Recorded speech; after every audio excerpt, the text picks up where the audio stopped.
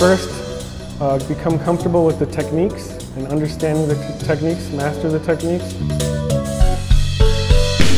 And once you've done that, throw it all out the window and just start exploring. Yes, y'all is the one and only get up. Nobody gets there the same way as the person before. Um, everybody struggles as an artist to, to survive and make money. Making money off of what you love to do is probably one of the hardest things. So there's got to be some give and take and sacrifice there.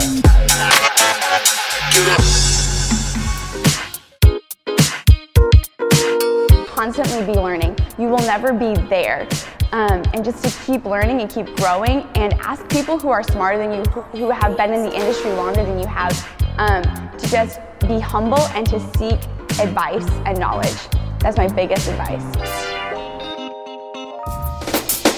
Just don't ever try to be someone else. Just be yourself. Try to find your own path. Don't copy anyone. But, you know, no one person knows it all. I mean, you just kind of you kind of jump in and, and figure it out, get your feet wet. Um, So you should always have a little bit of fear and panic with whatever project you're, you're trying to do. You want to be outside your comfort zone.